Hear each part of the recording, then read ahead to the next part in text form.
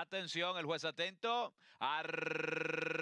Arranca los competidores. La regada es mala para el 3. Apple in Beast tiene problemas si se queda en el último lugar. Salta el 1 con Paradise a tomar el primer puesto. Ataca por la parte central de la cancha. El Empire Stroll Bailey se acomoda en el segundo. En el tercero, Rebelde. El cuarto mejora bastante Money Ray. Luego se viene quedando Apple in Beast a unos seis cuerpos del primer puesto. Domina el 1. Gon Paradise. Ventaja de cuerpo y medio sobre el Empire Money Ray. El número 5, Stroll Bailey, que sigue buscándolo en el cuarto Rebelde por dentro. Y quinto y último, Apple in Beast. Ahora más cerca, unos cuatro cuerpos y medio. 23-1. El parcial para los primeros 400 metros. Domina Gon Paradise. Ataca por la parte externa Stroll Bailey. Mientras que Rebelde está un poco comprometido por dentro. Desde el fondo intenta meterse en la pelea por el centro. El ejemplar eh, número 6, Money Ray. Hace lo propio por la parte externa. Apple in Beast. Los cinco ejemplares con chance de ganar. Domina el uno Gon Paradise. Trata de buscar un pase rebelde. En el tercero se queda Stroll Bailey. Cuando ingresan ya a la recta final de Ghost Park. Consiguió el pase rebelde y se va contra el puntero. Domina Gon Paradise. Pero rebelde ha pasado a liquidar la primera válida del Rainbow. Sí, muy fácil. Saca ventaja de